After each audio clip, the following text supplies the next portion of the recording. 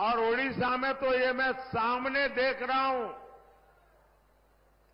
यहाँ एक ही नारा गूंज रहा है।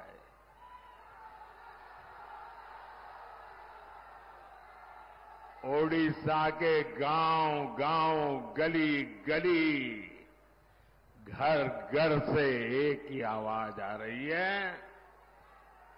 ओडिशा में पहली बार डबल इंजन सरकार।